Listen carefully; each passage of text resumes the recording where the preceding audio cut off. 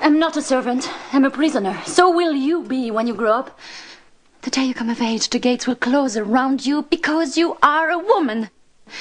If you marry, everything you own will become the property of your husband. If you don't marry, every profession will be closed to you but one. And that one is a life of loneliness and humiliation. They lock you up, Louisa. But there's one door they can't lock. They can't imprison your mind. I want you to learn to read. I want you to have your own life.